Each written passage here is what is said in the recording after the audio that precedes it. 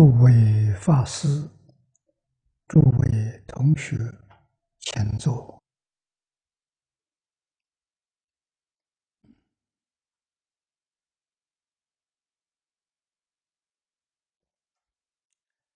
请看《大乘无量寿经解》第六百零二面，啊，六百零二面。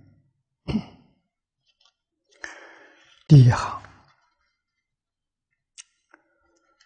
这还是说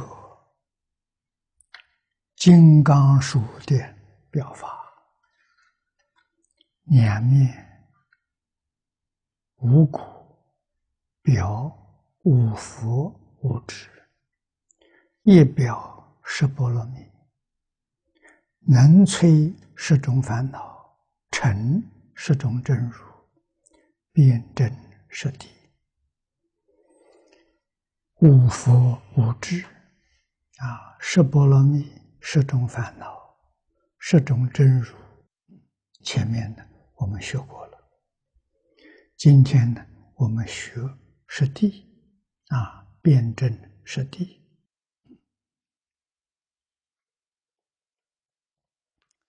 是地的为。菩萨所证的地位，一切佛法了是依此发生。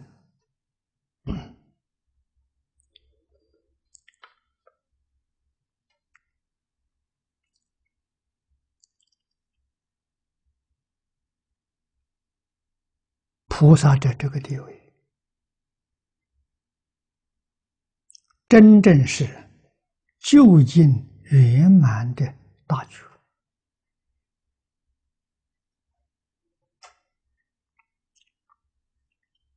他把无实无名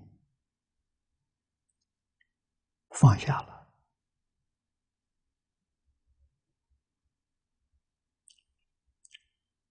可是地位也有前身不同。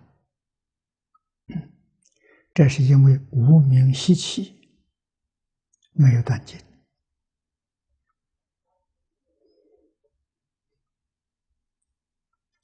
所以地位有前身，故十字欢喜，欢喜地是开始，宗之法云啊，法云地圆满，往上去呢是等觉。是妙觉，这分为十种啊，地位前身分为十种。第一个欢喜地，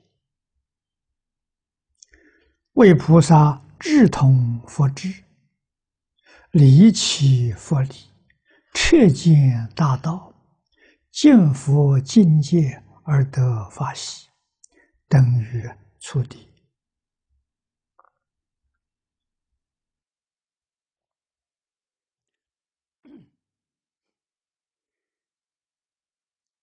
这个说法，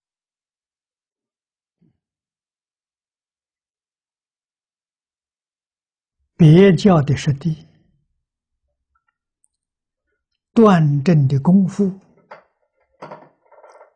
跟原教的实住是相等的，啊，是平等的。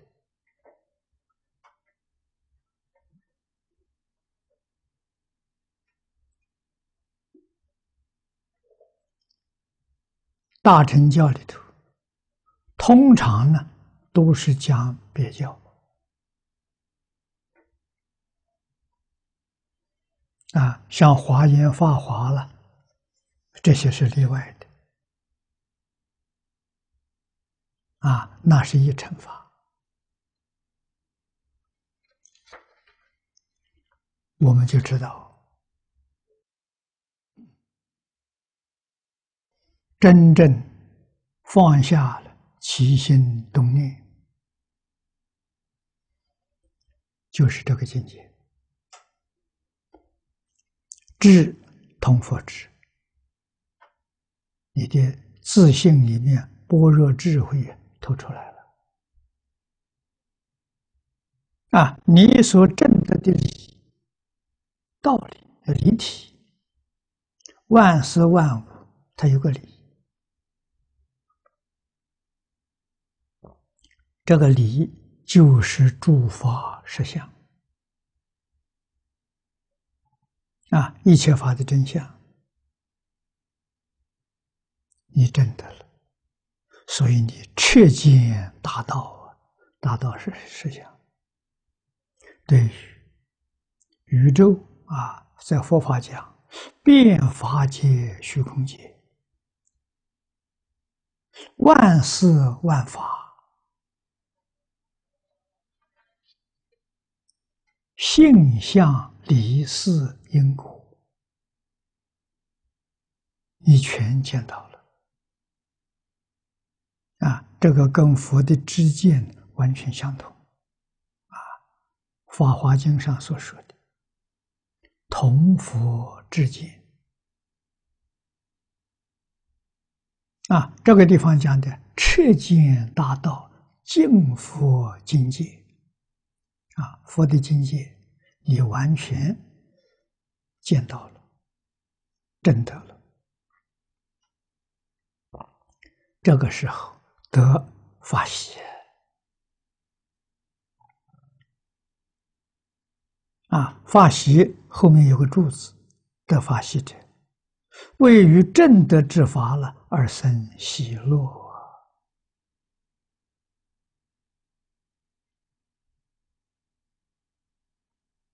啊，《论语》里头第一句话，那是世间圣人，学而时习之，不亦说乎？那个“乐”是法喜，啊，世间的法喜是有局限的，啊，菩萨所证得的法喜是如来果地上的法喜，没有局限的。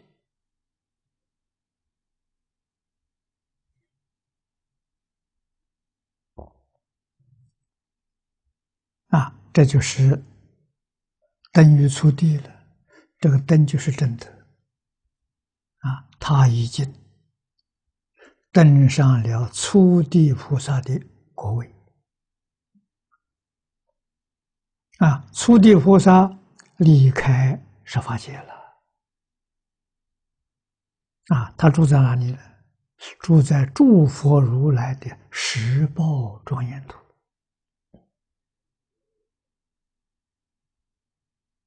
啊，经云与大菩提善德通达，觉通如来净佛境界名欢喜地。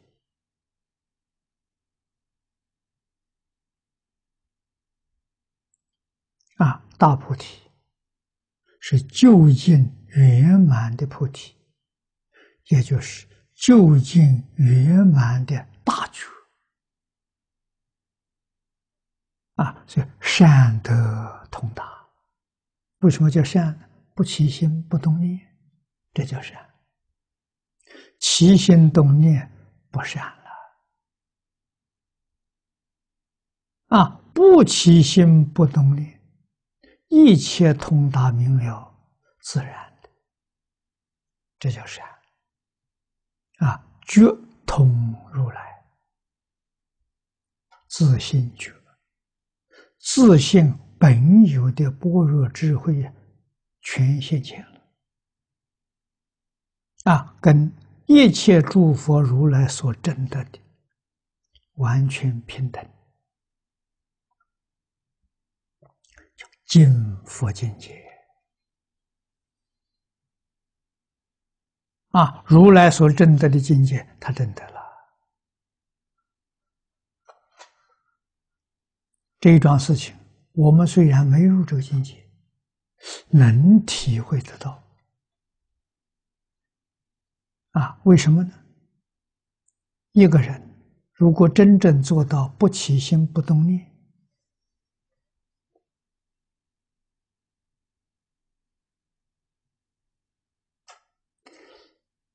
这十地菩萨每一个也是不起心不动念，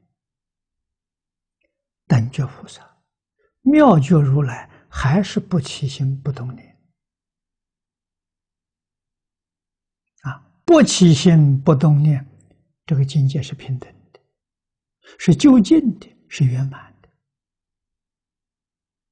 啊，所以起心动念就不行了。起心动念是谁呢？十法界里面的佛，十法界最高的佛法界啊，这种佛，他有起心动念，他没有分别之处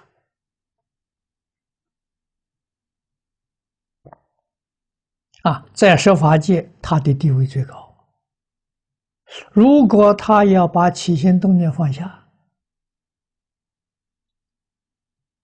他就入欢喜地了，他提升了，啊，超越了十法界。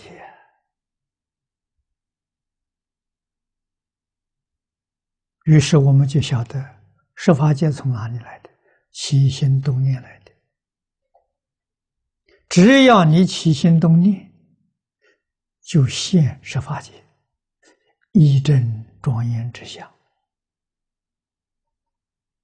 只要你有执着，在十法界里面就会现六道轮回的现象。这轮回从哪来的？执着来的，这着相。十法界从哪来的？起心动念来的。啊，一真法界怎么来的？就是诸佛的十宝庄严图。无名习气没断来的，如果无名习气都断了，十八图也没有了。所以十八图也不是究竟的，真正究竟的长极光图，长极光图没有相，没有现象。啊，现代科学里面所说的物质现象、精神现象、自然现象全没有。啊，但是这三种现象它都能现。啊，他自己什么相都没有，能现一切相。这是自信的本体，这个就在此地称之为大菩提啊，称之为佛理，佛所证得的理体。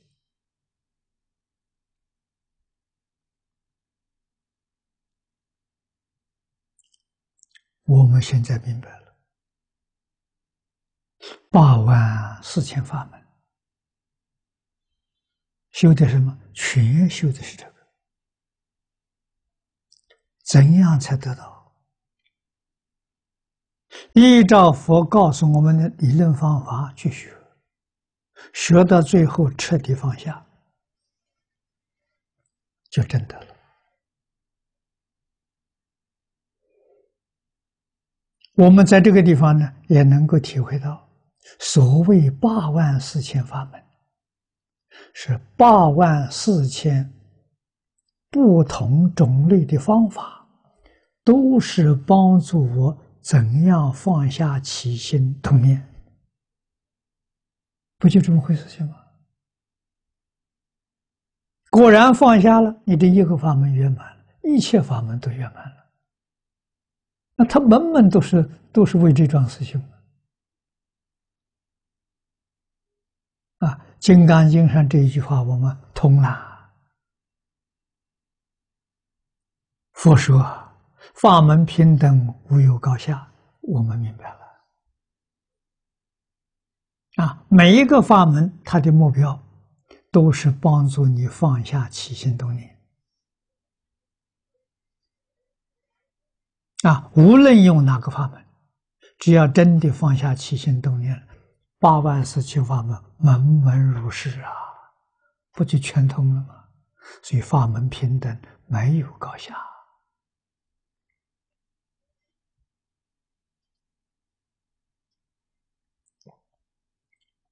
啊！那就正德，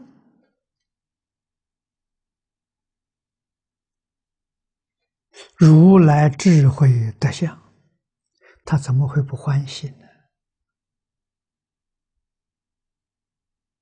法喜充满了，长生欢喜心呢，这叫欢喜地。从欢喜地再提升，怎么提升的？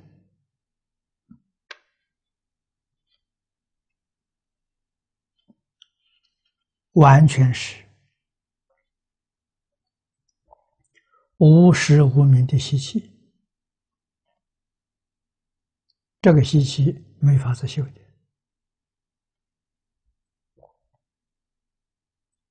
随着时间自然消失。但是在这么长的时间当中，菩萨不是没有事。菩萨有什么事？众生有感，菩萨就有因了。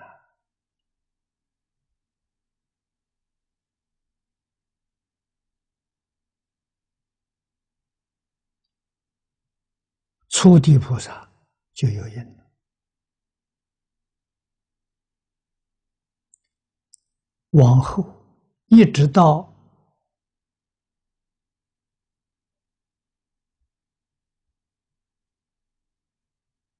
发源地，一直到圆满，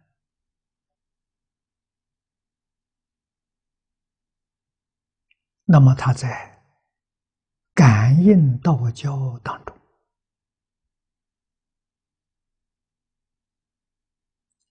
境界不相同啊！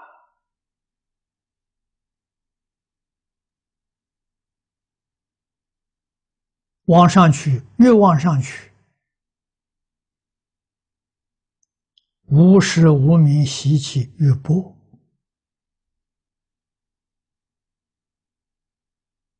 那么它透出的能量肯定就越来越大，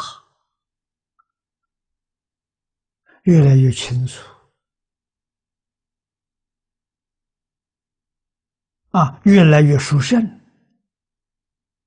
这都是我们能够想象得到的事实，确实如此。啊，所以二谛啊，立垢地，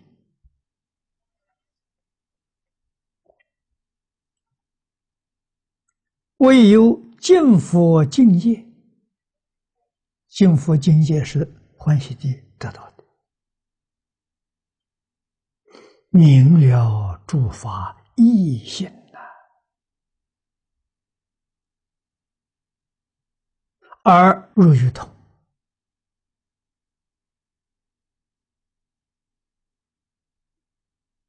啊，你看到一切法不一样，啊，性质不相同。从不相同的性质上看到它的同，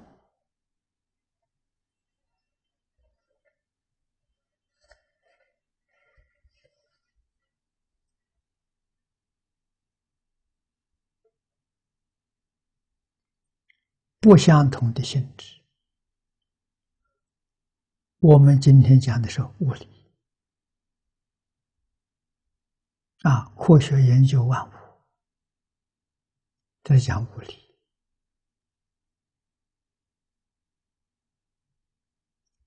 从异性而入于同呢？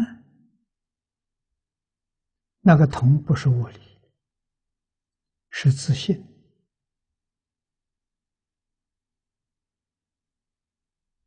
是真心。大乘教上佛常说：“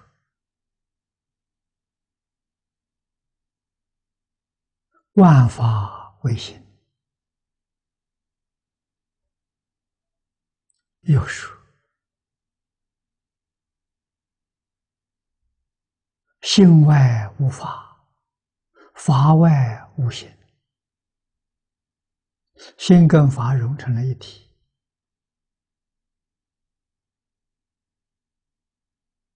宗门的大德常说：“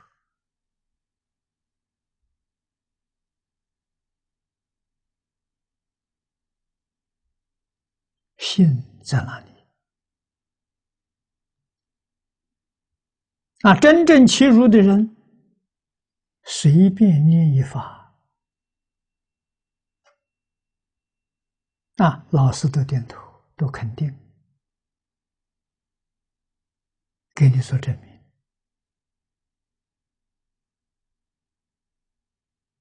为什么呢？法法皆如啊，法法皆是啊。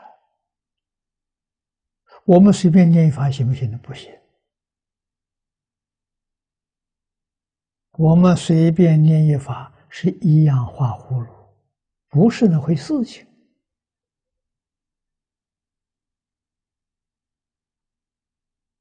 啊！人家举内法，他达到那个境界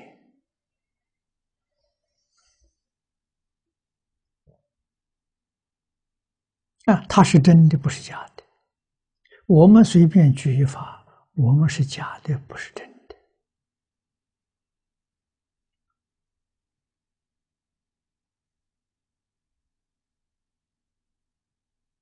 啊，真是所谓呀，踏破铁鞋无觅处啊，得来全不费功夫啊。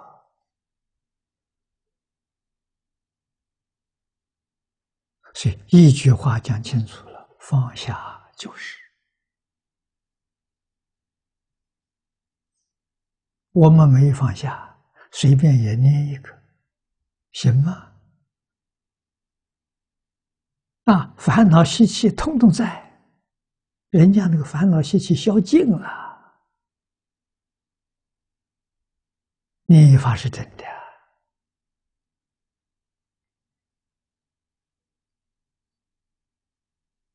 啊，明了，诸法一心而入于同，它本来就是这样的。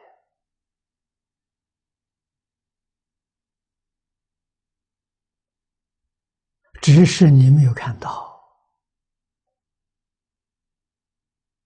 你看呢？若见有同，即非离垢。啊，为什么呢？同意是边界，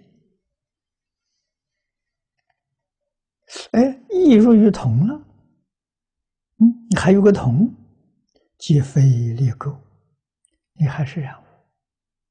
原来是什么呢？你被意染污了，你对这个有分别之处。现在呢，你被同染污了，你还有同的分别之处，没有离垢啊。同心一灭，真的离苦了，同意都没有了。为什么同意都没有了？就是不起心不动念，有同或者有异，你都起心动念了，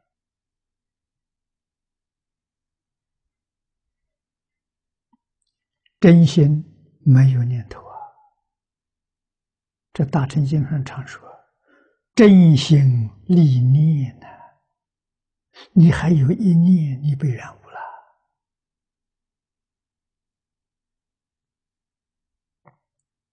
啊，一念是什么呢？弥勒菩萨所讲的，一弹指里头，三十二亿八千年里头的一念，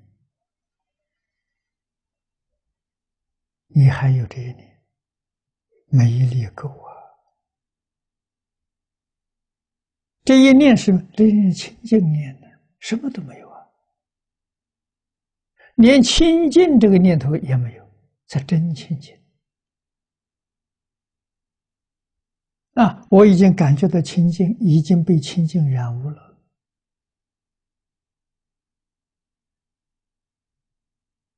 你想，你看是不是的？你已经起心动念了，已经分别了，已经执着了。去祝福与祝福见面，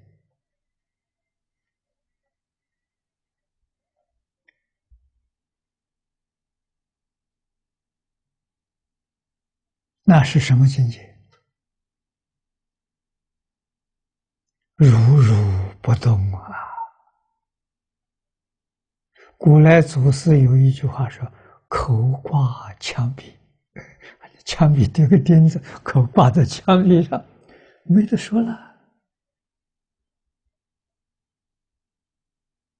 一句话也没有，一个招呼也不打，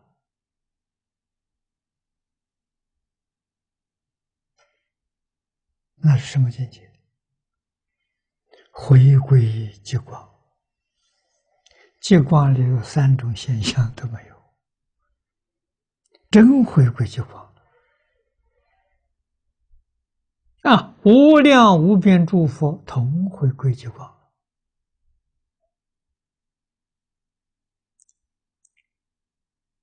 这同心一命，真理够啊！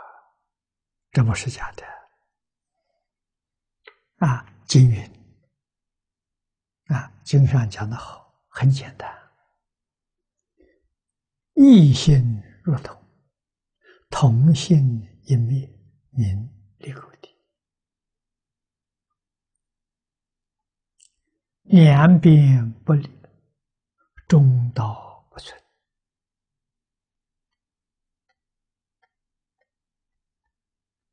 啊，两边。我们就用这个句子来说：义是一边，同是一边，两边都离了，这叫中道。如果还有个中道的念头，你又着了，又被染污了，中道也没有，那叫真的中道。啊，真的明心见性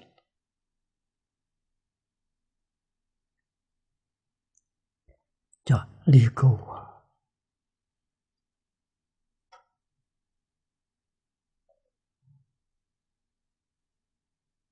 啊，欢喜地里头见到一如于同，但是他还有同见。啊，这更进一步的时候，同见没有了。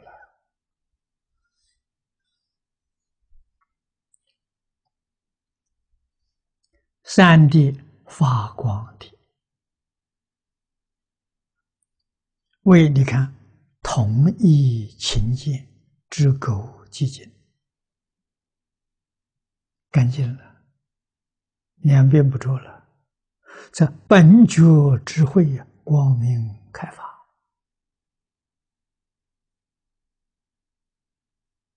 自性般若现。前啊！我们常说大彻大悟，明心见性。经云：“境界明生，明法观地。”啊，《楞严经》上说的：“境极光通达。”啊，进到极处的时候，这个光就是智慧光。智光现前，智光是自信的本有，因为不进，光就不显；进到极处，光显了。啊，这个好比我们池塘里面的水，如果有染污、有波浪，染污是什么呢？七情无欲是染污，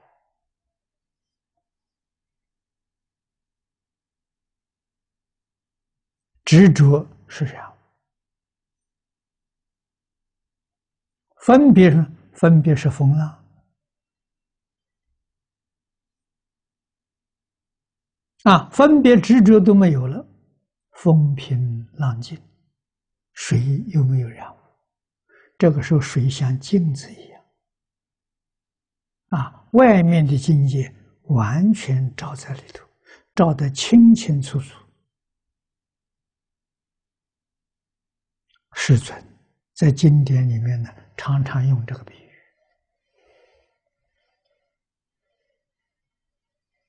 让我们容易体会。自信智慧现前，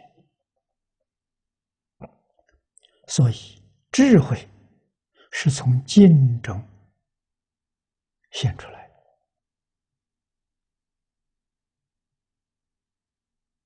心不清净，只生烦恼，不生智慧。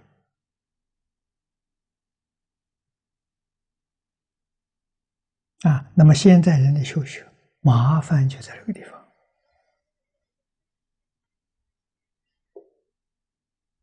啊！科学家、哲学家，乃至于神学家，你细心观察，他用的是什么心？他用的是分别心，用的是执着心。换一句话说，他用的是第七识、第六识。阿赖也是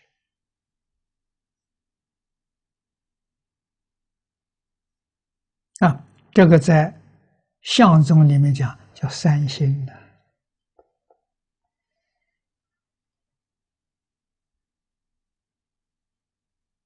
这三心是妄心，不是真心啊。这三心生烦恼，不生智慧呀。如何能叫我们自心智慧吐出来呢？这三心不用它，智慧就现前。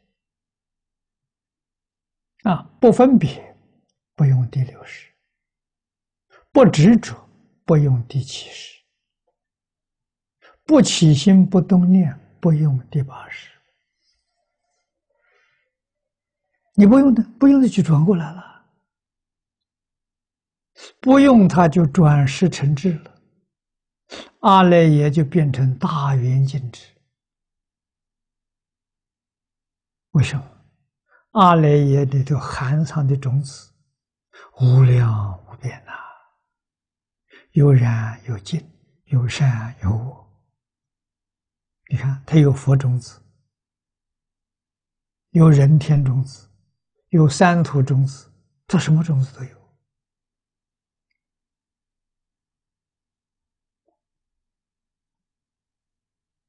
啊，在染污未清净的时候，种子通通在，决定不会丧失，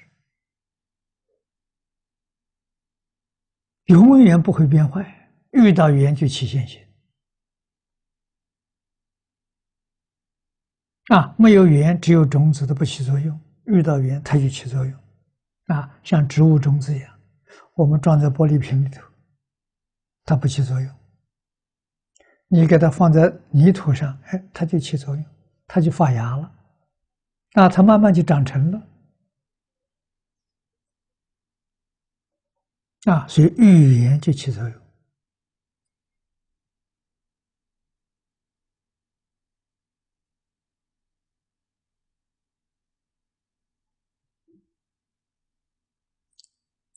见性的人呢，全知道啊。啊，这智慧现前了，啊，我们就明白科学家智慧为什么不现前，哲学家为什么不现前，修行人为什么不现前？他还起心动念，甚至于他还有分别之处，那就是道道地地的凡夫啊，他不是圣人。啊，圣人的心清净。我们今天要学佛，佛最小的佛，小圣，小小圣，小小圣，心地都清净。啊，为什么呢？见惑破了吗。啊，身见、边见、见取见、戒取见、邪见。我们前面读过，这些他都没有了。小小身，小乘出国，须陀洹，大乘实性里面初心为菩萨。啊，这些标准我们很清楚、很明白，常常啊回光返照，啊，看看自己有没有到这个境界。啊，如果没有，那你就要提高境界，你要不求。待业往生这个法门，升到极乐世界去，你肯定逃不过六轮回啊！为什么呢？你无中见会有啊，只有六道才有这个情形呢。啊，无中见惑断掉了，还在六道。但是不怕了，为什么呢？你有出六道的时间表，一般人没有啊。好像做监牢狱一样，判的什么无期徒刑啊？那出国出国有期啊？啊，天上人间七次往返，他就证阿罗汉就出去了，他有期啊。而且，这个天上人间七次往返，他决定不走三恶道。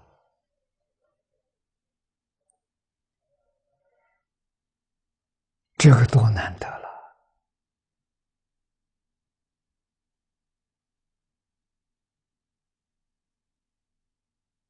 啊，如果我们这一生连出国的位置都达不到，只有待业求生净土，除这个。没有第二个办法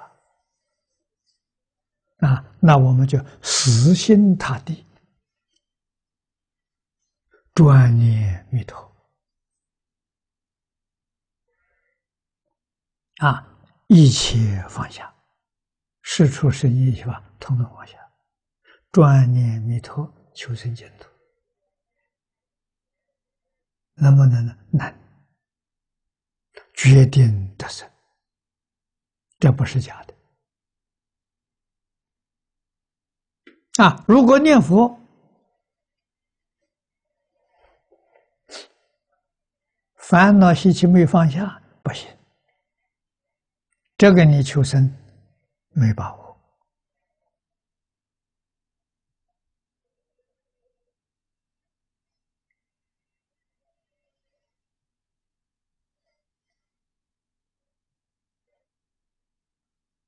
大家一定要知道，往生的人临命终时，佛来接引。这个佛是谁？是自信弥陀，是真的，不是假的。是自信变现的，或者我换一句话说，是自信感应的。我们今天用真心，就用自信求，还是自信反应？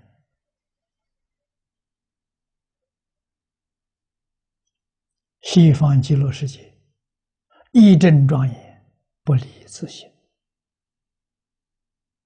是自己自信变现的。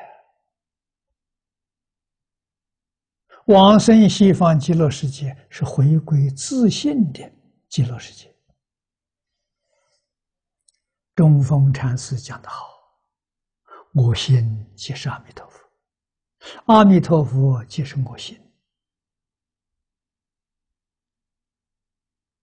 此方即是净土，净土即是此方。”你看。不离当下了，往生净土，不离当下了，清净弥陀，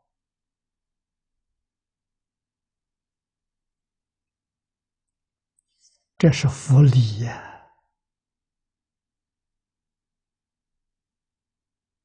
我们要用佛智去见佛理呀，你才晓得这个理不迷信呐。天经地义啊！你真搞清楚了，对决定得生一丝毫怀疑都没有了。我们这一生的问题解决了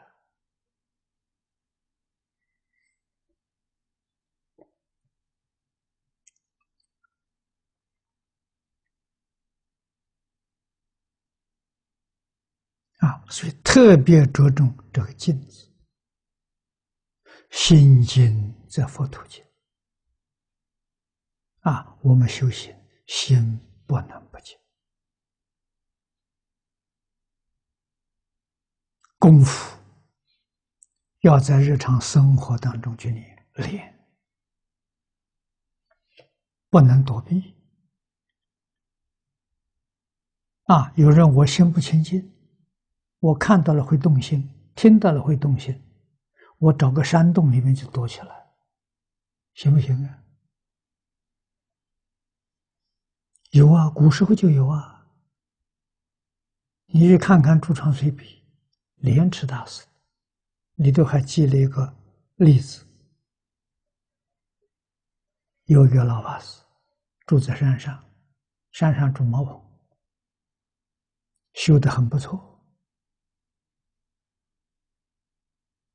啊，自己以为万缘放下了，在山上住了几十年，啊，城里面。有一些念佛学佛的大富长者，啊，听到有这么一个人在山上几十年不下山，去朝山，啊，去亲近老和尚，真有道行，佩服的五体投地，力请老和尚下山去弘法，啊，请他到都市里去。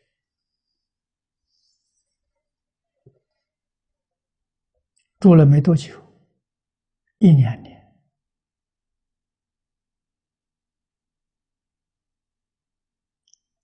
道行没有了，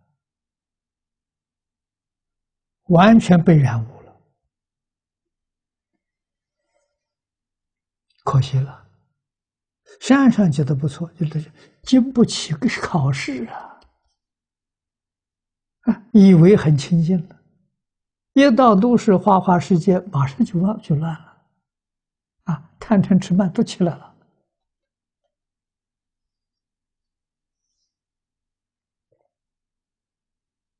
啊，这个老和尚看莲池大师，莲池大师就讲这个故事，有一个人，啊，他在问呢，这个人是谁呀？莲池大师说，就是老兄啊。他自己还不知道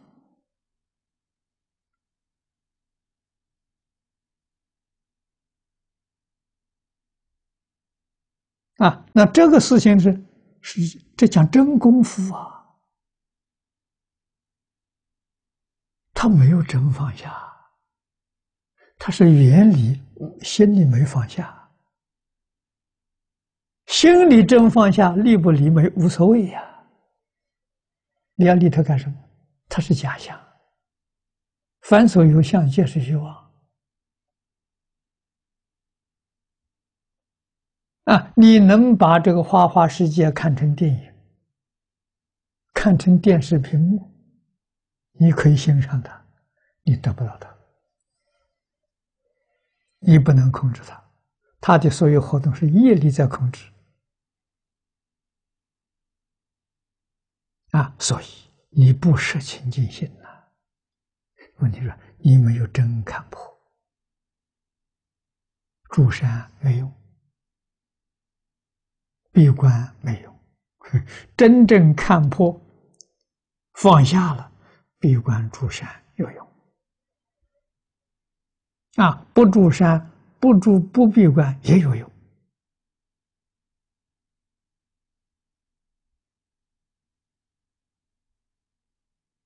释迦牟尼佛一生没有闭过关。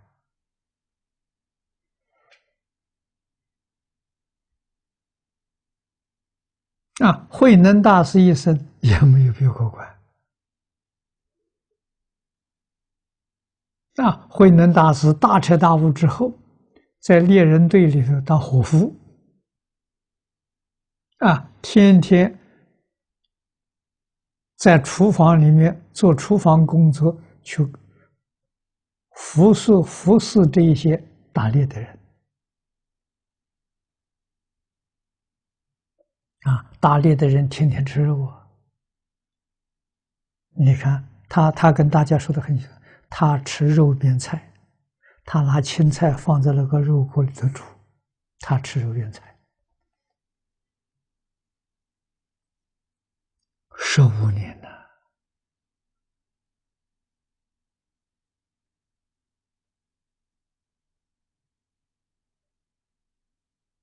啊，南大师在猎人队里变成长工了，在这做了十五年了，做厨房啊。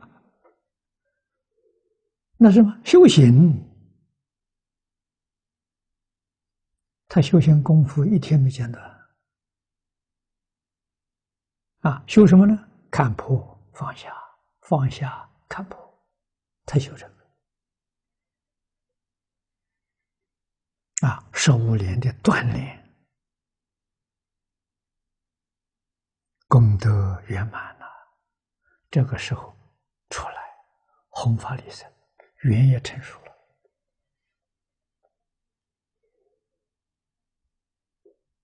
啊，缘不成熟有磨难呢，缘成熟了，磨难就没有了。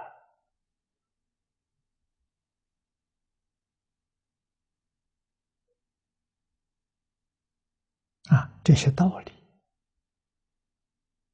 佛祖给我们做的这些例子，表演给我们看，我们要看懂啊，要能体会得到啊，要能学到啊，我们这一生才能成就。啊，如果看不懂，不能体会，我们的修行就非常困难。所以你看，智慧发光。你看他这个前面是欢喜，见到了，啊，见到欢喜，往后就是修道啊。修道头一个就是立垢，啊，立垢就是放下，放下智慧就开了，就发光。哦，这光越来越大，啊，第四个颜慧的，啊，光又火焰出来。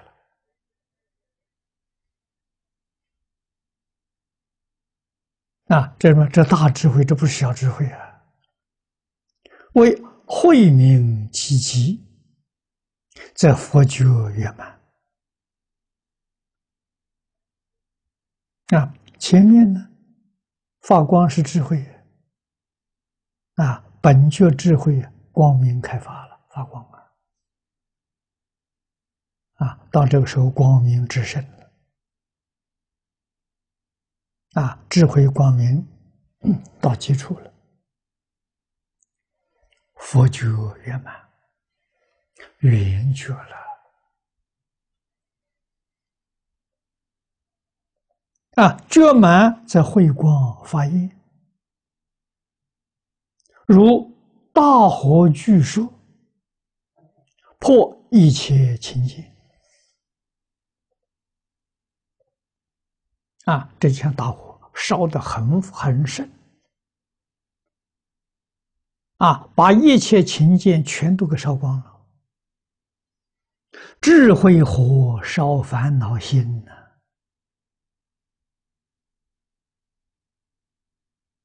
啊，所以他入在红尘里头没有问题，红尘里的烦恼的时候，到他面前就烧光了。为什么？他有大智慧。经云：“明即觉满，明颜慧地。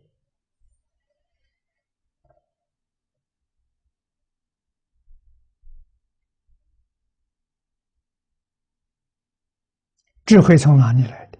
立垢来的。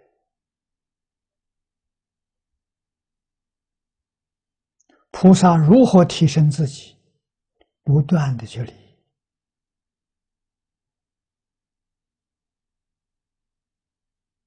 啊，垢离了之后，还有习气，习气还有粗的习气，有细的习气。啊，极其微细的习气，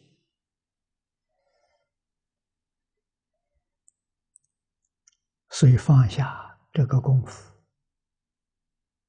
从现前开始，到什么地位？到等觉。等觉菩萨还有一品无时无明习气没放下，还得要放下。放下之后，他才能成为妙觉，那叫究竟圆满了。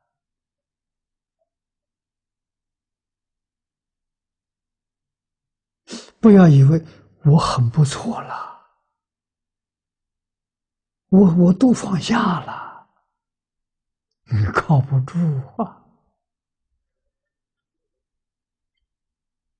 啊，十地菩萨。哪一地不是修放下呢？啊，如果我们看华严，四十一位发生大事，哪一个不是在放下？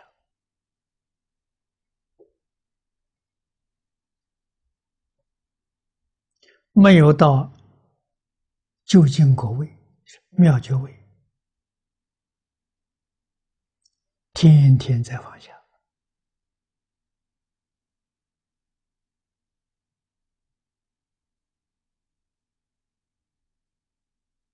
念念在放下，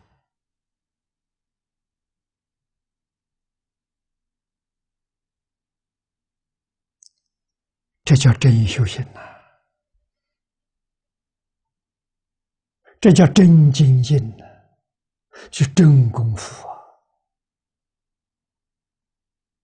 啊，为什么呢？念念他看得破，他怎么看的？《金刚经》是最殊胜的一部经论，它就是教我们看破的。凡所有相，皆是虚妄。我们六根对六尘境界生的情见，情是什么呢？七情，动了这个念头了。啊，七情里头，第一个是欢喜，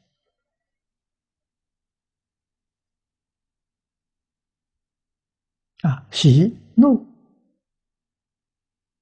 第二个不欢喜，不高兴发脾气，喜怒哀乐，爱恶，爱是喜欢，恶是讨厌。还有这种念头起来，最后一个是欲，又是欲望。欲望有五：财色名食睡，叫五欲；叫七情五欲。懂这个念头，这叫情见。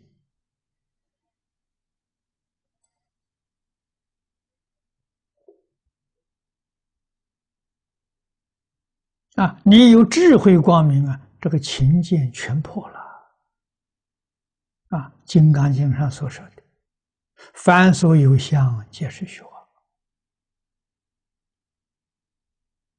你六根在六尘境界里头不起心不动念了。啊，不起心不动念做不到，要做到不分别不执着。决定不能让他生七情五欲，这是功夫啊！净宗的学人用什么方法？用阿弥陀佛。这个念头才起啊，不管是喜是怒，是爱是乐，不管念头才起，阿弥陀佛，全把它收到阿弥陀佛这里，用一句阿弥陀佛代替你所有的念头，这叫会念佛。这种念佛的话，他会见性。这种念佛方法会降伏烦恼，会得定，会开悟。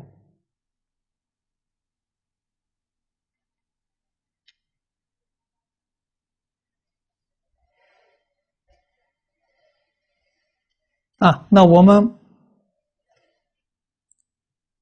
功夫浅，力度不够，虽然念佛，还有妄想夹杂进来。这是正常现象，不是你一个人有，人人都有，古人也有，未来的人肯定还是有。诸佛菩萨在因地时候跟我们一样，都有啊！不要怕，不要灰心，要勇猛精进。啊，念头才起，古大德常讲，不怕念起，只怕觉迟。一句佛号就是觉。啊，念头才起，阿弥陀佛就觉了。啊，念头起是迷，一句阿弥陀佛就救了。在八万四千法门，这个法门殊胜了，无比的殊胜了。简单容易啊，人人都可以修啊！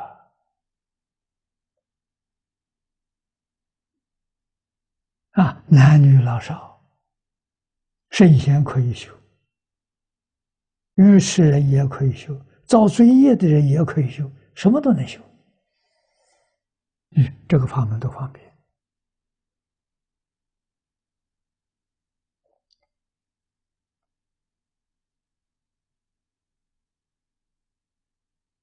啊，我们把这些道理、事实真相搞清楚了，你就会死心塌地念这句阿弥陀佛。啊，念到起入境界时，人家给你说话，你回答都是阿弥陀佛。有没有听见？听见不听见不要紧，阿弥陀佛要紧。啊，我回应你就是阿弥陀佛。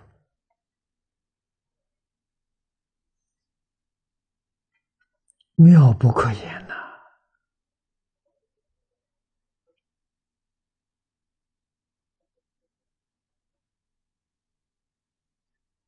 啊，侵入到这个境界，算是你真正认识阿弥陀佛了。啊，你跟阿弥陀佛搭上线了。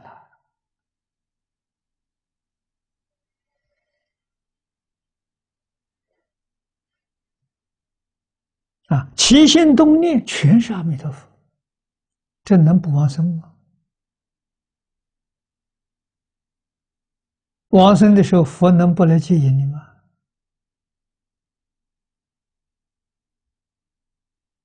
古大的书，功夫最重要的叫生处变熟，熟处变生，这就成就了。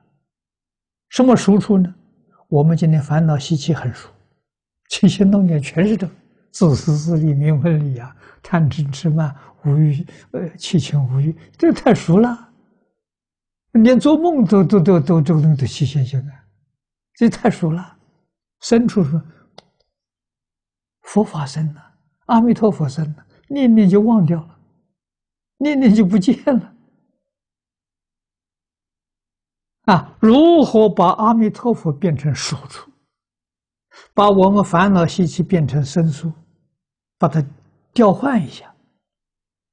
啊，生的变成熟的，熟的再变成生的，功夫就成就了。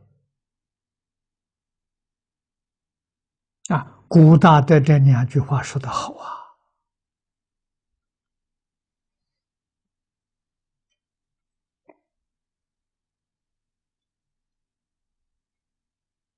啊，我们不难体会啊，问题要真干啊，当然得要真了解啊。为什么真了解才会真干？啊，干了很欢喜，啊，欢喜就现前了。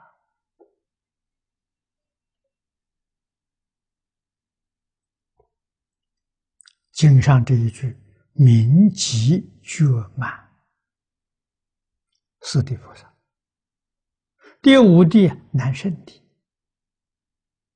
你看，都是以前一地为基础，未有前面言会。说破一切情界，其同一之相，皆不可得。心正清净了，即是诸佛境界，无有能胜了。经云。一切同意，所不能知，名难胜的，就很难胜，很难超过他。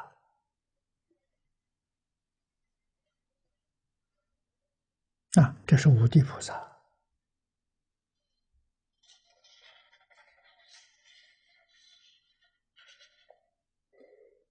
同一之相不可得。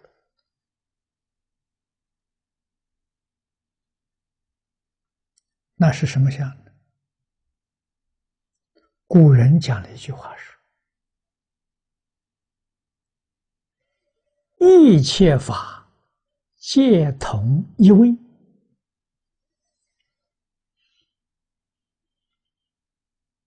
就这个意思。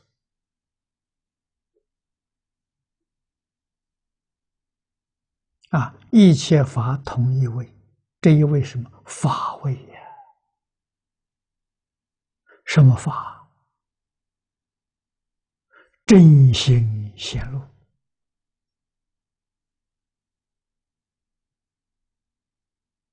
自信的圆满心得，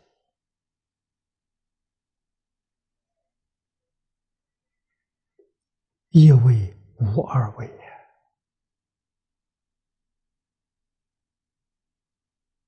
呀！啊，这一位。佛以善巧方便，时时刻刻提醒弟子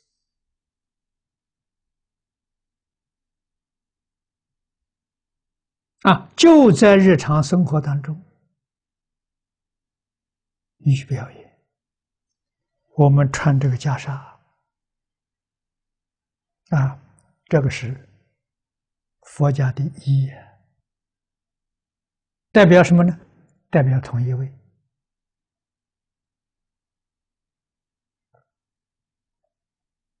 啊，一块一块碎布，从前衣很难得了，一钵饭容易啊，衣不容易啊，衣是手工织的，所以出家人的衣从哪里来的？叫粪扫衣。别人穿破了的衣服丢掉了，不能用了。出家人把它捡起来，以后捡的多了，把可以还可以用的剪下来，啊，剪成一样大，拆下来，缝在一起做一件衣。啊，所以这些织料很多不同的。治疗。颜色很多不同，缝在一起染啊，用什么是是细颜色染呢？红黄蓝白黑。五色，五色混在一起变成一色，这种颜色变成一色，有也。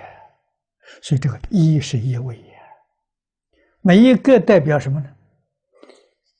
在法界是法界，每一个代表一个法界，是法界是一位，无量无边法界是一位，这都在这一件衣服上，表这个意思啊！你还有分别有执着就错了啊！一切法同归一心自信。一切法从自信出，到最后还回归自信。啊，一表这个意思。啊，身上披了这个衣，还有分别执着，跟这个表法是完全相违背呀。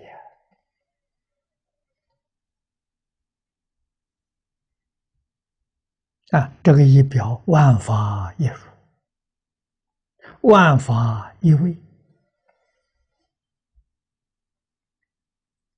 啊，出家人这一部分，这一部分也叫袈裟了。为什么一部分不是一个人供养的，是很多人家供养这一部分？啊，怎么说很多人家呢？比丘出去托钵只可以托七家，啊，太多家你现在就贪心了，七家托不到。那今天运气不好，今天回去吧。回去有的吃啊？为什么呢？每一个人托钵的时候，不是托了自己吃的，不是，都托回去，把它混在一起，然后从这个里面再拿，自己吃多少拿多少。所以一钵千家饭，真的不是假的。释迦牟尼佛学生。一千二百五十五人，每一个人出去托钵，不是千家饭吗？啊，回来时候饭通通集中堆在一起，饭菜堆在一起，啊，在这个地方拿来吃。啊，不是每个人偷每个嘴，不是的，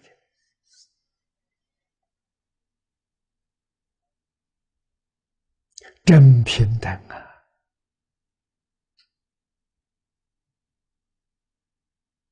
啊，所以这个饭都混合在一起的时候，这也是袈裟的相。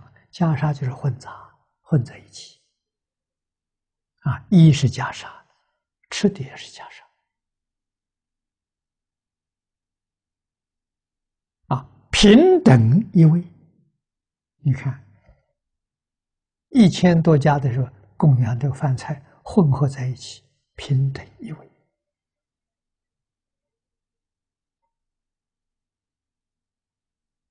心平等，事平等，表法平等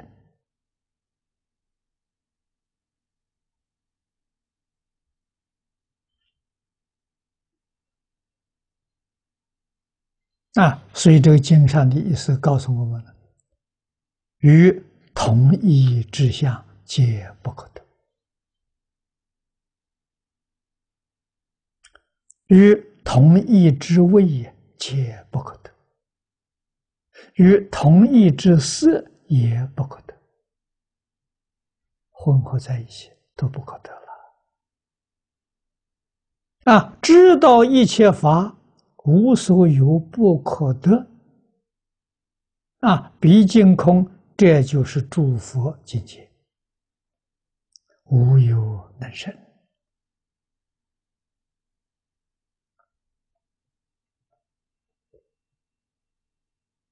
啊，举经来作证。经云：“一切同意所不能知，一切同意都不达不到这个境界。”这叫难胜的。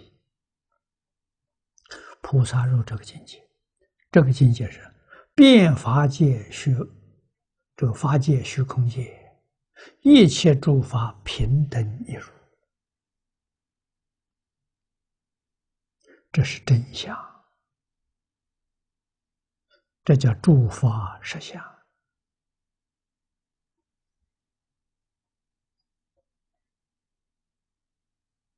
啊，在这个境界里面，自信现前了。所以下面第六地叫现前地。唯有前同意之意，同一之相，既不可得，则真如净性明显现前。这里我们要记住啊！如果有可得，真如就没有了，那是虚妄的。我们今天有啊。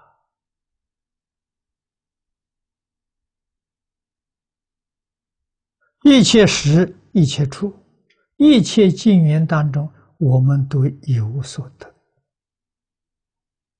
啊，我们都有同有异，都有这个概念。啊，都有这些念头。那要晓得，这是道道地地的反复啊，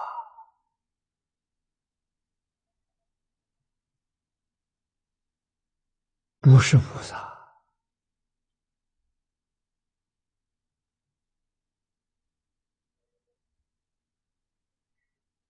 毛病到底出在哪里？出在放不下。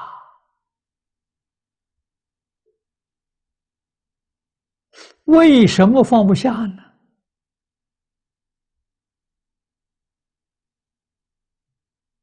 出在没有看破。啊，为什么没有看破呢？经教没深入。所以回归到最后才想到，释迦牟尼佛四十九九年讲经教学，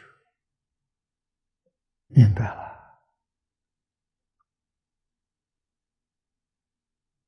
那我们也就想到现前，啊，佛教放弃了宗教教育，是错误的。为什么呢？宗教教育要放失、放弃掉了。学佛的这些人，无论在家出家，通通都留在原地踏步，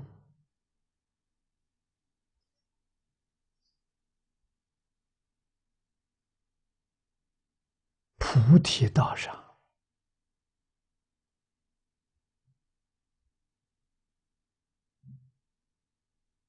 寸步难行啊！你没有在菩提道上啊！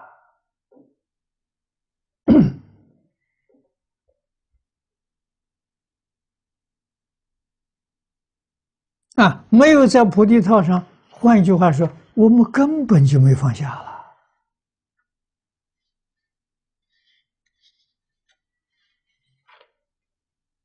我们的见解。我们的思想，我们的行为，都在造业嘛？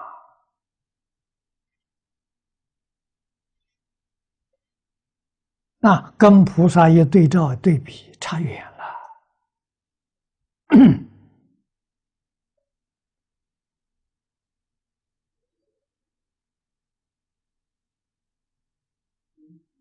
啊，我们看现前地，此地简单给我们介绍的。啊，第五地，难胜地，啊，同一之相，即不可得。这真如净性明心现前，这叫先前地。什么先前呢？真心、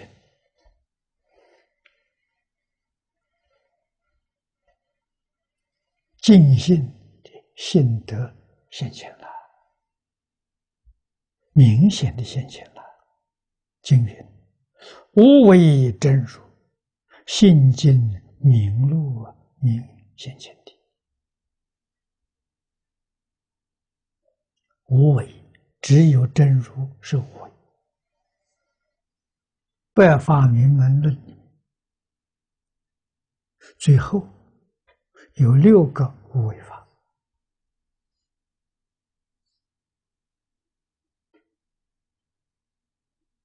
因为这六种没有生灭的现象。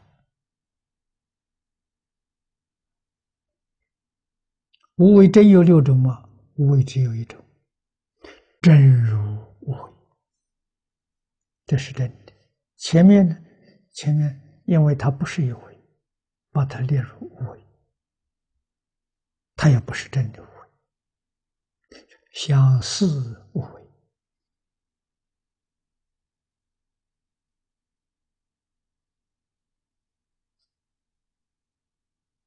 啊，那对前面这五种无为，我们可以说它是自然现象。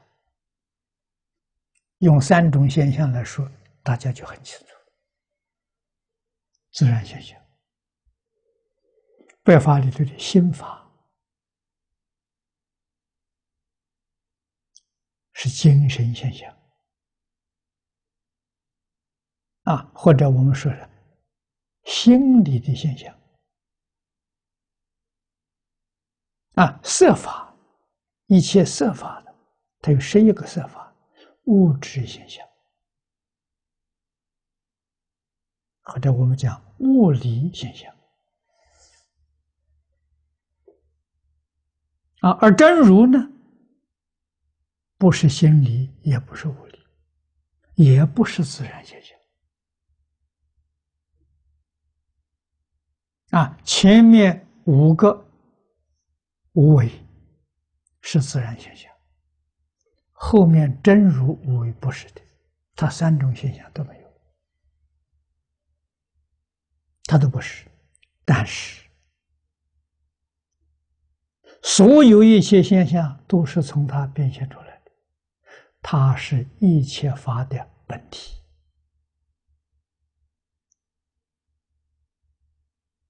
啊，前面这五个无为。离不开自信，是离不开真如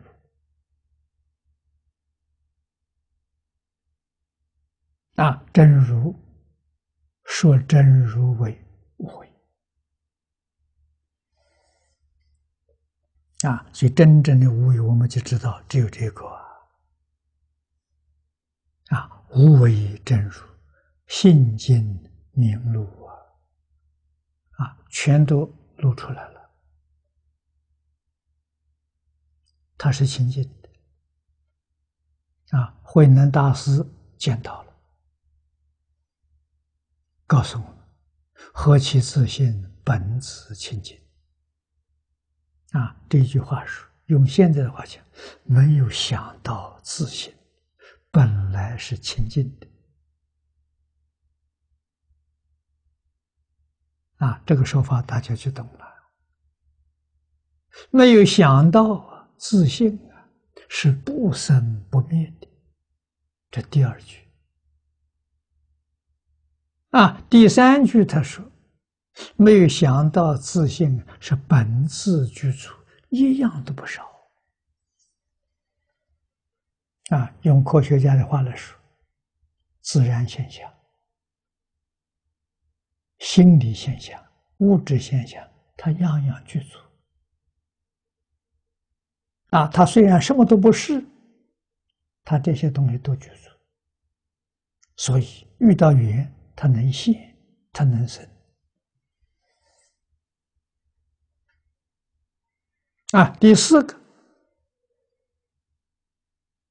能大师说，没有想到自信啊，本不动摇，这什么？自信本定。我们现在念头有生灭，一个念头起，一个念头灭，前念灭，后念生，这什么？这动的现象。自信真如，如如不动，从来没动过。幕后说：“何其自信，能生万法。”啊，这一句话呢，是讲它的作用。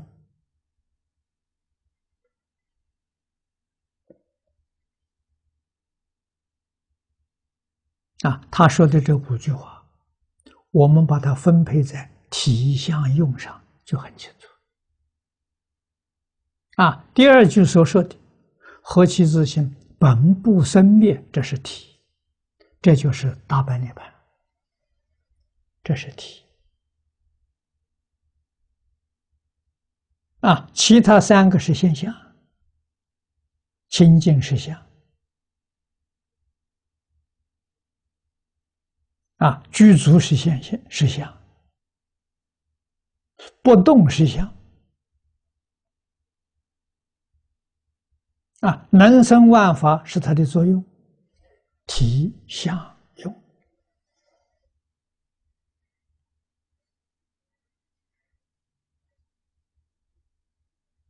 啊，这个时候明显的现前了，啊，所以称之为先前的。啊，慧能大师所证得的，真的不是假的。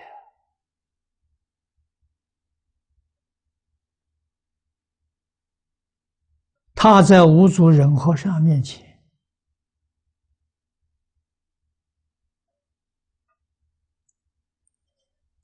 提出他所立领悟到的境界，无作人和尚完全承认，等于说给他做印证，一步就给他了。啊！告诉他，你就是第六代祖，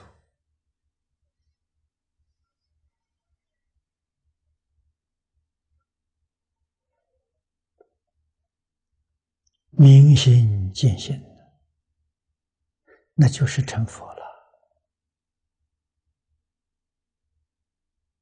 真佛了，不是假佛。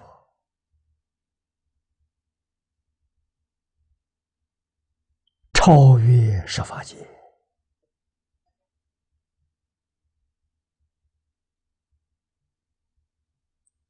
初地就超越十法界了，还带着一些习气。到现前地了，习气不带了。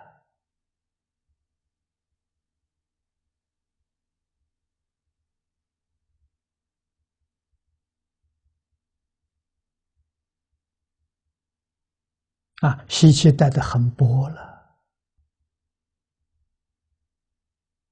对于自信越来越清楚，越来越明白。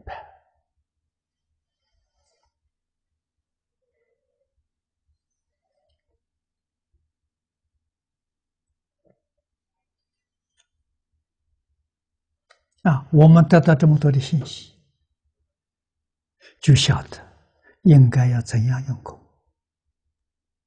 我们用什么功夫？就是用念佛，用念佛它太方便了，我们有把握能做到，其他的功夫我们做不到，因为它要断烦恼。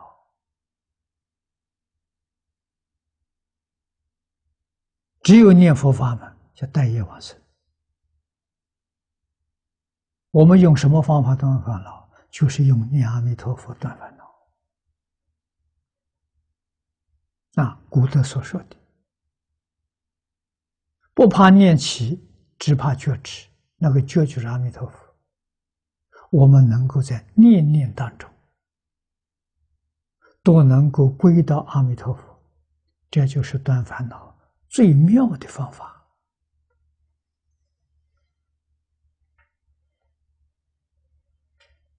啊，真正养成一个习惯，习惯二六十种。日夜都不间断，就佛号不间断，一佛念佛，现前当来必定见佛。啊，大势至菩萨告诉我们的，大势至菩萨是修念佛法门成佛的。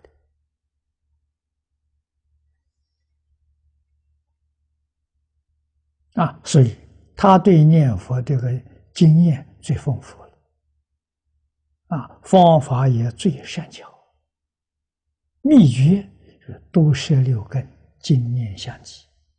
你看一句话就说了，说了。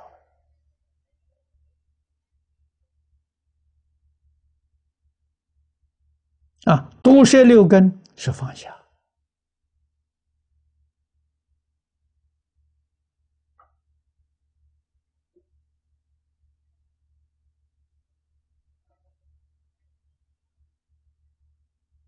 如果不是彻底看破，你怎么能放得下？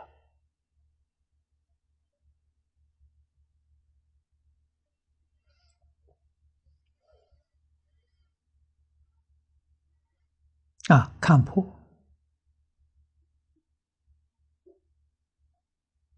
经教的功德不可思议啊！你说经教能不学吗？不学，我们怎么会知道？啊，念佛功夫不得力，将来不能往生，到底哪里出了毛病？不知道。啊，在经教上认真努力去参究，就明白了。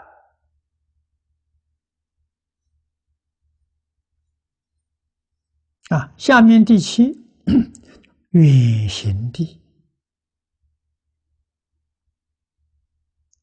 为真如之境，广无边际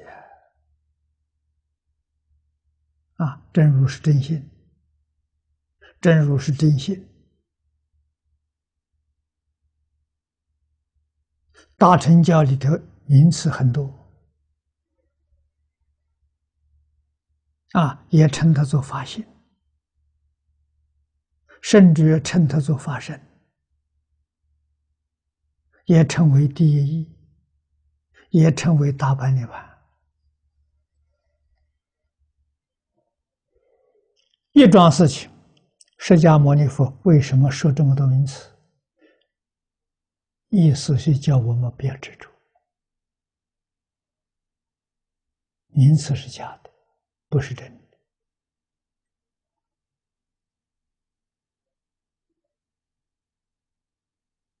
真实。马明菩萨教导我们：立文字相，立言说相，立名词相，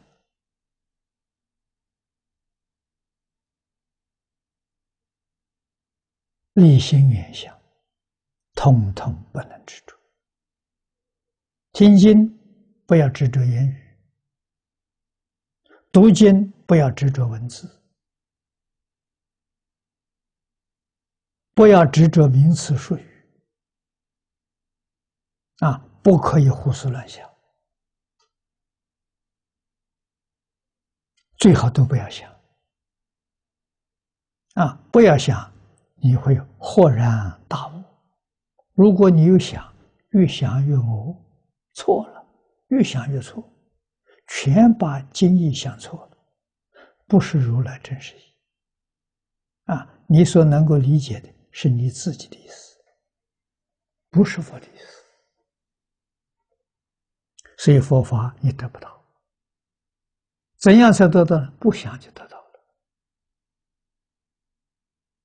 想是想用第六意识，第六意识语言不到自信，就是语言不到真如，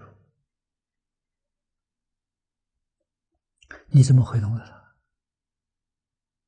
对世间法。可以用，啊，用思想对佛法不能用。为什么？佛法字字句句是从自信流出来的。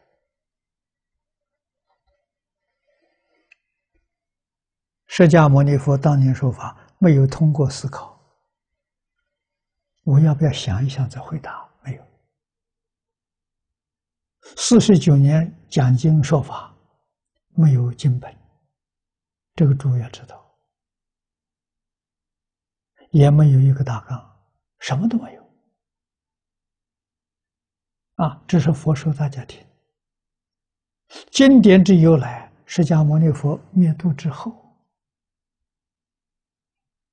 啊，弟子们想起来，老师这个东西太好了，应当流传下去。怎么办呢？我们每个人在一起。啊，把我们所听过的，从我们记忆当中用文字把它写出来，但很难得。同学当中记忆力最好的阿难，啊，阿难记忆特好，听过一遍，一生都不会忘记。啊，比电脑还管用。这些有这么一个好同学，阿难又是佛的使者，每一次讲经他都在。他一次也没漏掉，啊，所以有人问了：阿难二十岁才做佛的使者，释迦牟尼佛讲经的那一年，阿难出生。那换一句话说，前面二十年阿难没听到，积极经藏，那怎么行呢？啊，这个要知道，阿难出家跟释迦牟尼佛提了个条件。啊！你以前说那说那些讲的那些经啊，你要重新给我讲一遍。啊，佛答应他了。啊，以前二十年所讲的时候，啊，在有空闲的时候，释迦牟尼佛给他说，等于说他全听到了。啊，那么由阿难上台，佛讲。同学们在家听，印证，没错，旁边有人在那里记录。啊，如果同学提了有意见，这一句话好像佛不是这么说的，有怀疑就删掉。集结经藏啊，用这样严格的方法了，取信于后世。大家对经典真相信啊，不是伪造的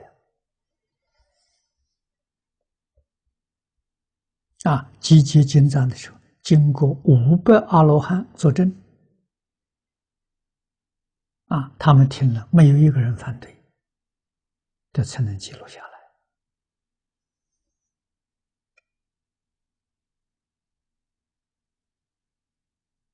啊。这个是说明是。一桩什么事情呢？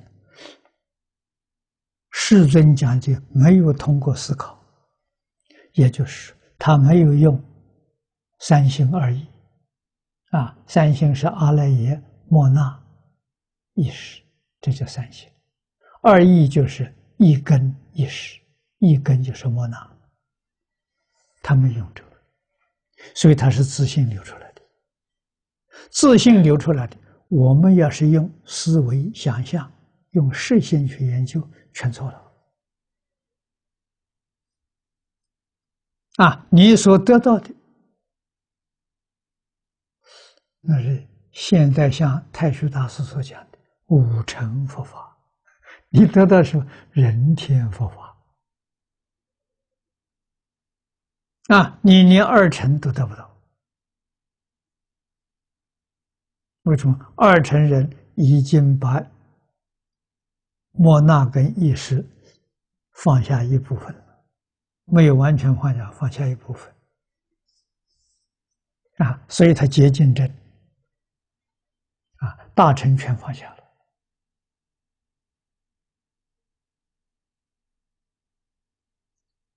这个道理太重要了，你要不晓得这个道理。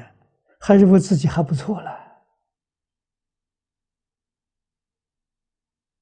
啊，搞一辈子到最后不能成功，就是不能开悟，然后怎么？你说佛法不灵，那就叫谤佛，啊，谤佛谤法，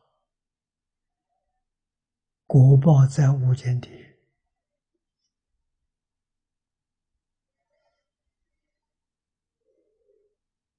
啊，所以这是大事啊，这不是小事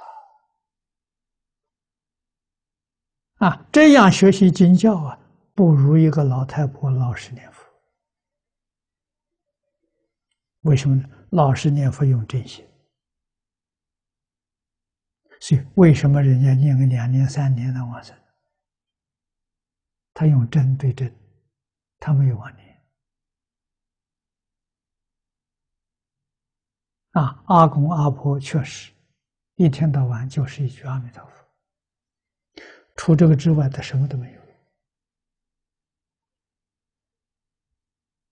啊，你说他什么都不行，真的，他是是什么都不行，但是最后他往生了，啊，给你现出稀有的瑞相，叫你感到莫名其妙，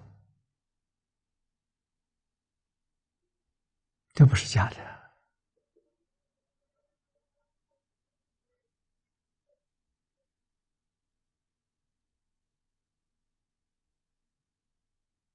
早年我跟李老师学经教，李老师常常感叹：“他想学老太婆学不到啊，老太婆的功夫好啊，学不到啊。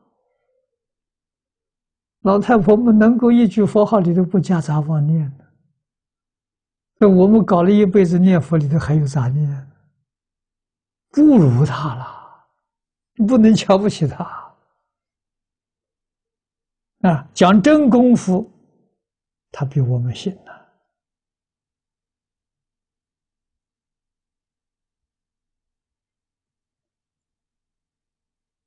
啊，这一些实在讲，对于真正修行人来说太重要了。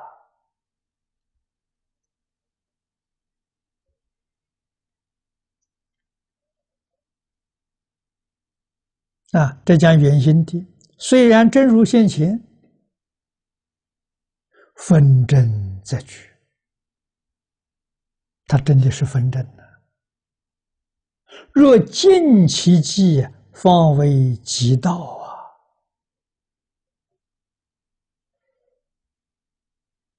啊！啊，菩萨对于真如之理，分次第而真。别教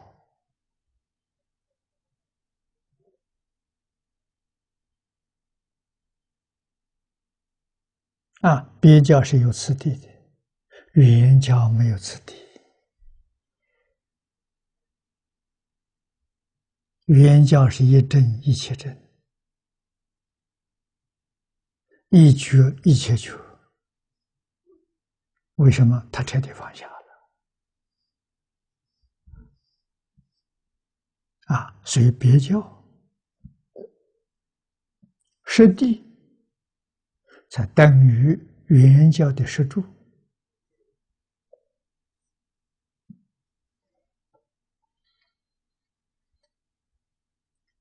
经云：“尽真如记，明原先地。”切地算不错了。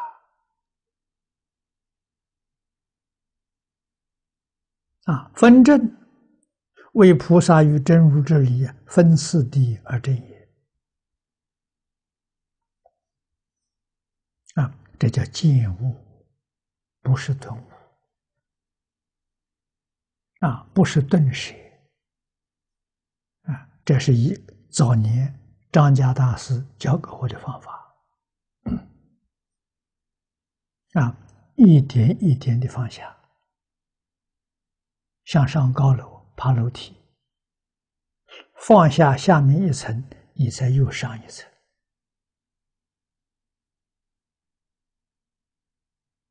我们是这种根性的，你只能走这个路子，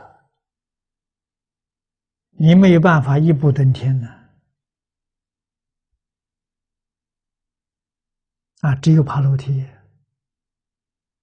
爬楼梯就是分正。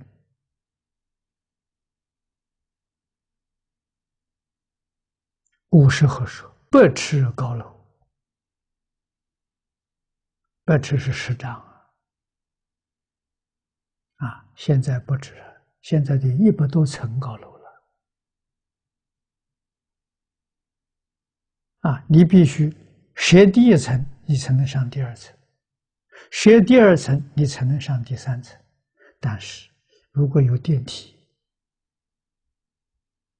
你一上电梯就到顶层，那就那顿悟、顿超、顿正啊，那是释迦跟慧能大师表演的这一套，不是普通人能做到的。普通人还是一个阶级一个阶级的啊！这是早年三位老师都是这样教我：循序渐进啊，而且都警告我，不能学会能，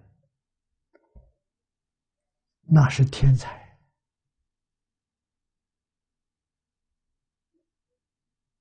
那是顿悟。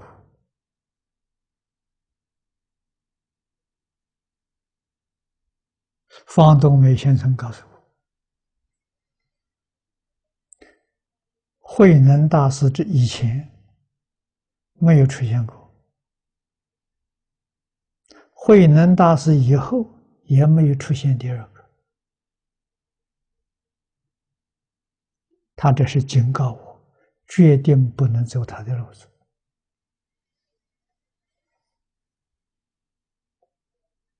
啊，换一句话是，我们走他那个路子，决定失败。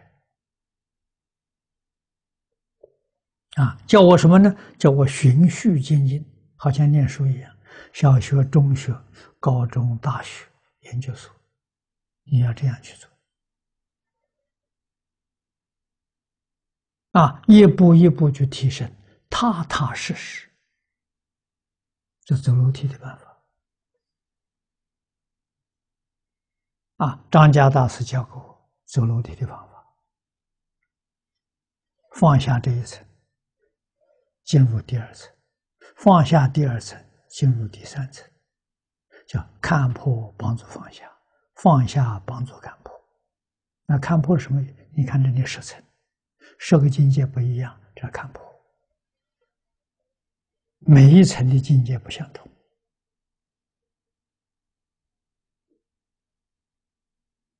啊，我们放下现前地，就到远行地了。远行地的境界比现前地就高了。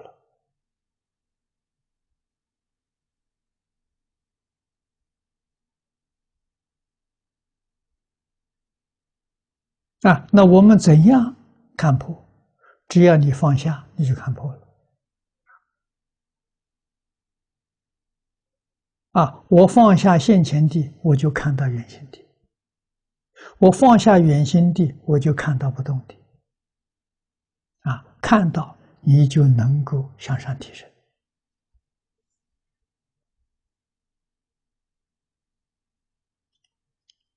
这个道理不能不懂啊！不懂这个道理，亏吃大了。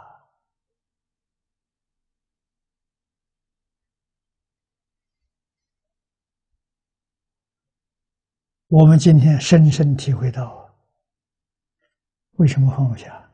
没搞清楚。不要以为搞清楚了。这个话张家大师教给我的。你没有真正切入境界的时候，你真的没搞清楚。最怕的是没有得到，以为自己得到了。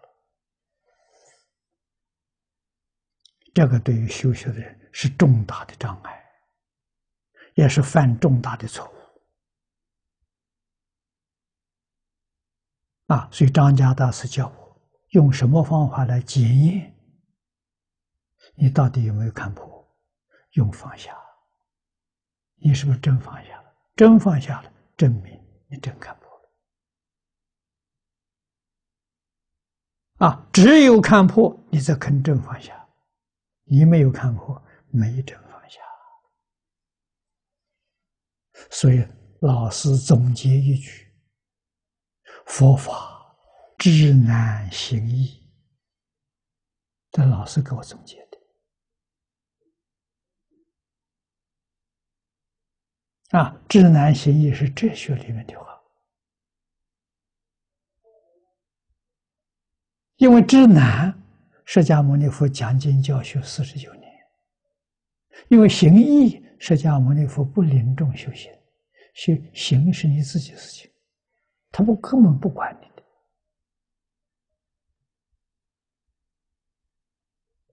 的啊，他只是教育啊，真听懂了，真明白了，这当然放下嘛啊？为什么这世间这些名闻利养，这烦恼习气害人的？啊，眼前得一点名利，你能享受多久？你有多长的寿命？你想完之后你怎么办？啊，如果在享福的时候造业，那真叫得不偿失啊！不如贫贱之家了，贫贱人家不造业。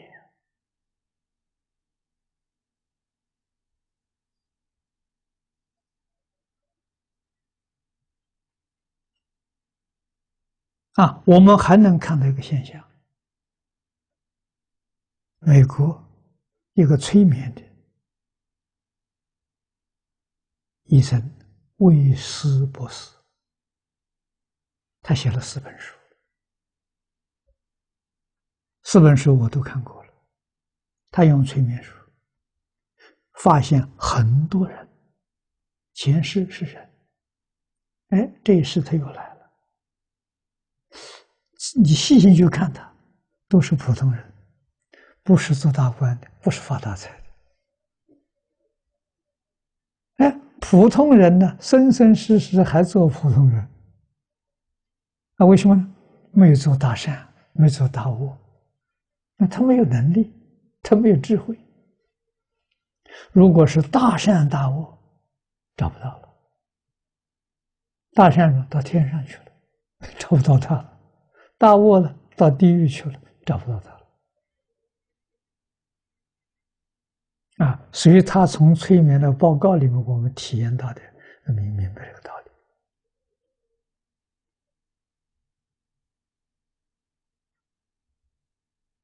啊，这些例子可以能给我们做证明啊。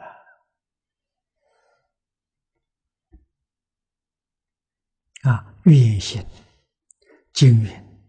净真如寂，名远心地。真如有没有边际？没有。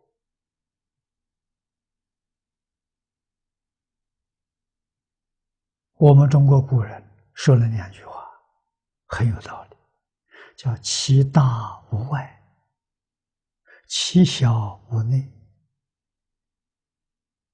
这两句话用来形容真如，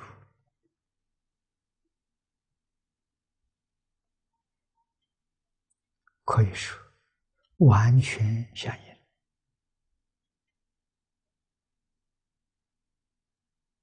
啊，真如确实如是，其大无外，其小无内。啊，这两句话，《大乘经》里。把它讲透了，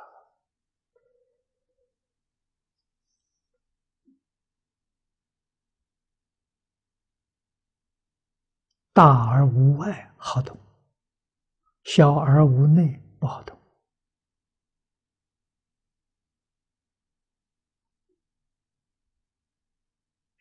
佛法里面讲最小的，即微之微。很可能被现在量子力学家发现了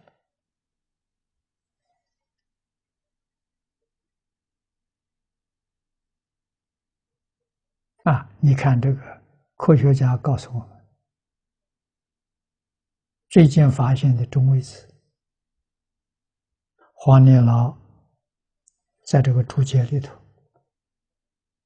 引用的，中微子多大呢？一个电子啊，电子很小，绕着原子核转的，这原子绕原子核转，电子比原子还小，一百亿个中微子组成一个电子，就是一个电子的一百亿分之一，那么小的东西啊！这是发现，现在发现物质最小的啊，这么小的一个一个一个物质现象，也就是这个这个。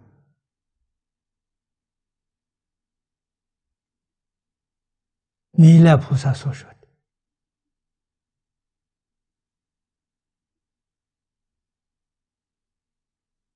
一弹指三十二亿百百千年，一念所产生的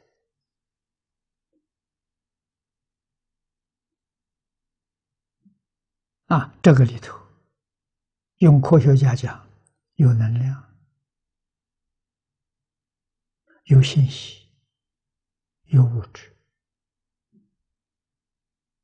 居然是一个非常圆满的东西，而且跟外面大的是无二无别，大世界跟小世界是一不是二，这个不可思议啊！也就是。这么小的一个例子，一个物质现象，里面有变法界、虚空界圆满的信息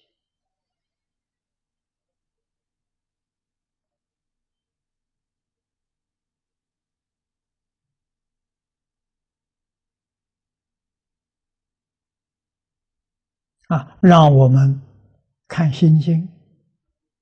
观世音菩萨行深般若波罗蜜多时，照见五蕴皆空。那个五蕴是什么？就是这个极微之微的，现在讲的中微子。为什么？它里头有五蕴呢？你看，它有物质现象是色，它有精神现象，有受想行识。它都有具足啊，啊，具足了色受想行识，当体皆空，了不可得。观音菩萨看到了，五蕴皆空。啊，这是什么？这是所有物质信息的根本呐，根源找到了。啊，现在科学用秒为单做单位，啊，一秒钟，一秒钟有多少多少个念头啊？啊，就是这个现象多少个生灭？一千六百兆，一千六百兆分之一秒，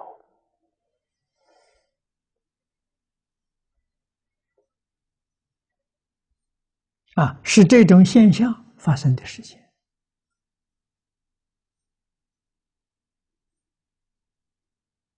啊，一秒钟里头居然才发生过一千六百兆次，每一次都不一样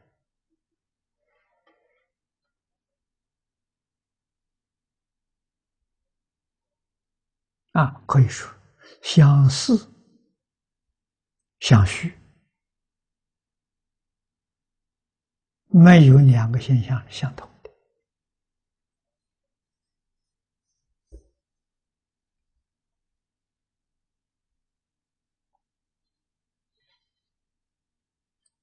这是真如的边际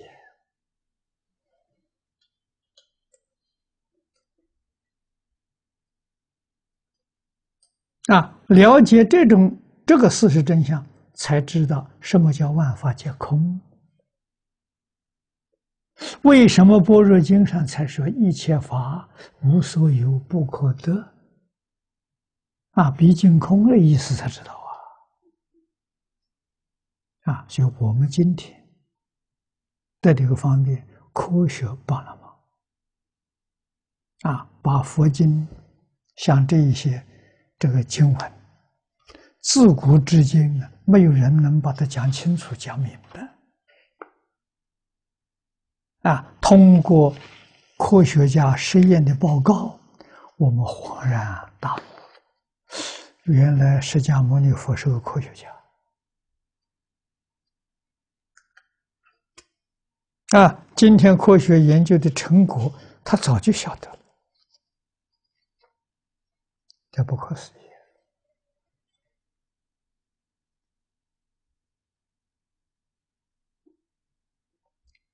今天时间到了，我们就学习到这里。